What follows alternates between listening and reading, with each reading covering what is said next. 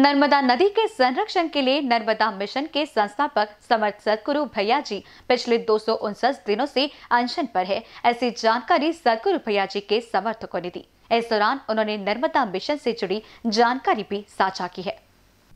Narmada mission के संस्थापक समर्थ सतगुरु भैया जी पिछले दो दिनों से नर्मदा नदी के संरक्षण के उद्देश्य से अनशन पर बैठे हैं।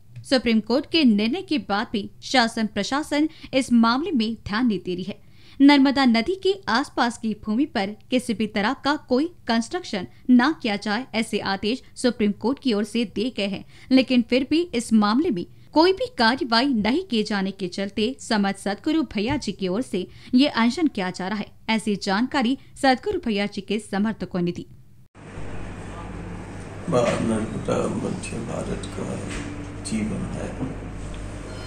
माँ नर्मदा हमारा जीवन है, हमारा अस्तित्व है।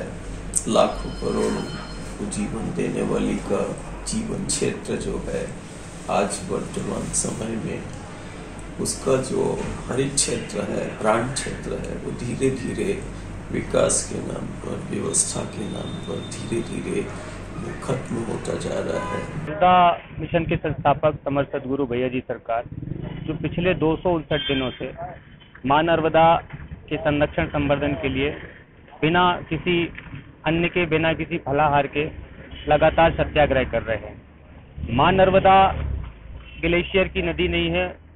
नर्मदा पर्वतों अभ्यारणों वनों और जंगलों के कारण बहती है। माननीय उच्चतम ने उच्च न्यायालय के आदेश के बाद, कई बार न्यायालय ने आदेश दिए, उसके बाद भी शासन प्रशासन उसका जो तटीय क्षेत्र है जो उसका जल संग्रहण क्षेत्र है, उससे 300 मीटर तक कोई भी निर्माण ना हो, ऐसे कई मतलब आदेश कोर्ट ने दिए।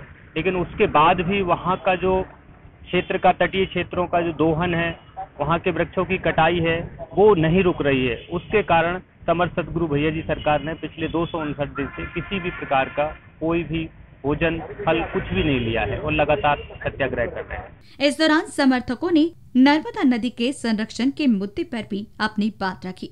कैमरा पर्सन राजकुमार मोहट के साथ दिशा हटवार की रिपोर्ट।